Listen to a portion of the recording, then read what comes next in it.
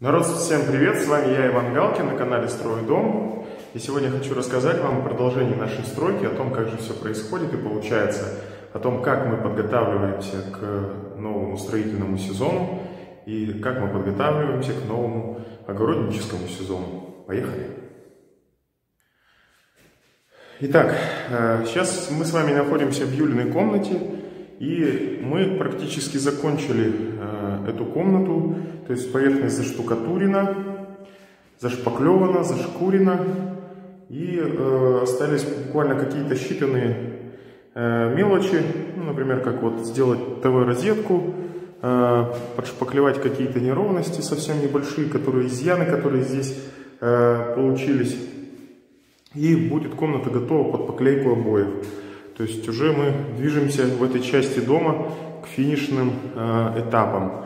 То есть на дворе у нас уже сегодня э, май месяц. И вот таким вот образом медленно, но уверенно мы движемся к цели. Про эту комнату я вам рассказывал. Она у нас в этой стадии находится э, уже давно.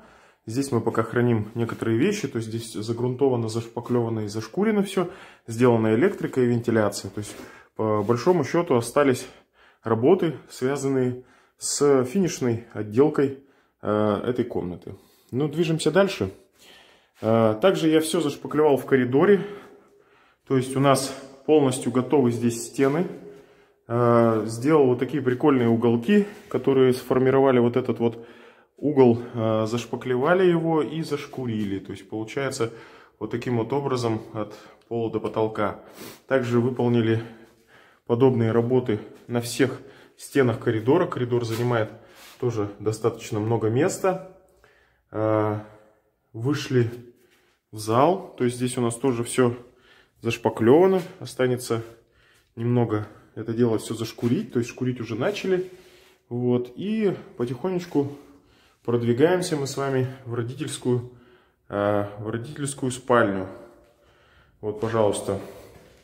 Здесь я буквально на прошлых выходных закончил шпаклевать, прибрался немного. Тоже вот таким вот образом получилась очень светлая, ровная, беленькая комната, которая осталась, ну, буквально мел, мелкие работы.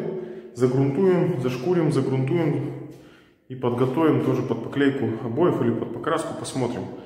То есть вот такие получились стены. Здесь я не стал штукатурить откосы, попробую по-другому их здесь закрыть. Ну, то есть закрывать буду все одинаково, но э, не вижу особого смысла в штукатурке. Вот таким вот образом все у нас получилось. Вот, то есть примыкание к полу, пожалуйста, можете посмотреть. То есть, в принципе, выглядит неплохо. Кстати, вот наша с Юлей тут художество проявляется. Надеюсь, их не будет видно, когда мы сделаем финишную отделку. Немного учил ребенка рисовать. Так, дальше, продолжаем. То есть вот получается, что северная часть дома и три комнаты, они у нас готовы. А, в зале я даже ни, ни за что не брался, особо здесь нечего рассказывать. Я хочу рассказать вам сегодня про теплицу, про то, а, как мы ее подготавливаем к работам. Давайте выйдем и посмотрим. То есть Олег Васильевич, мой тесть, обработал ее уже перепахал, перекопал землю там, вынес лишний мусор какой-то там, какие-то лишние вещи. Осталось совсем немного здесь прибраться. Скоро будем обрабатывать ее и высаживать. Вот смотрите, какая у нас тепличка светленькая, чистенькая. Ну там буквально какие-то финишные работы остались. Обработаем ее. Земля уже все высохло здесь. Совсем недавно еще стояла вода. Сейчас здесь сухо. А, в принципе, то есть можно набирать в бочке воду, обрабатывать ее каким-то какой-то шашкой и все будет круто. Ну вот давайте посмотрим температуру, которая у нас рядом с открытой форточкой. Сегодня на улице плюс 20 градусов, в теплице 31. И посмотрите, как широко открылись створки теплицы. То есть при 30 градусах вот такой у нас получается вот такой у нас получается вариант с проветриванием. То есть створочки открыты. И при этом сегодня 22 метра в секунду, друзья. То есть посмотрите, какой ветер сильный. И при этом у нас очень хорошо себя ведут вот эти створочки. То есть проветривание идеальное. При этом ничего не выламывает, не отламывает.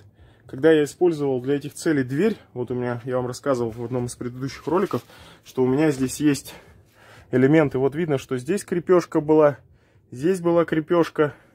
И дверь на ветру постоянно делала вот так. То есть она распахивалась, потом пружина ее тянула обратно, она пыталась закрыться, короче говоря.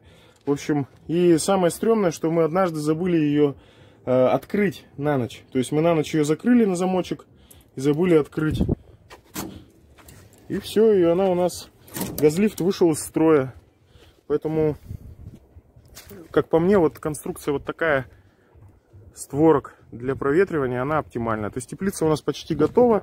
Когда ее засадим, я вам расскажу и покажу. Давайте пройдем на наш огород, который тоже уже в состоянии боевой готовности. То есть уже зашел лук. Он какая ботва у нас у лука. То есть мы его уже потихонечку начали кушать. Также у нас зазеленели ягоды. Вот они, клубника. Самое интересное, что я вспахал землю. То есть я достал мотоблок в прошлую, э, в прошлую субботу и спахал землю под, э, под овощи, которые мы будем засаживать под грядки. И спахал землю под картофель. Также у нас очень активно начали набирать зеленую массу яблони и груши. То их, их, их прекрасно вот здесь видно, что они все зазеленели.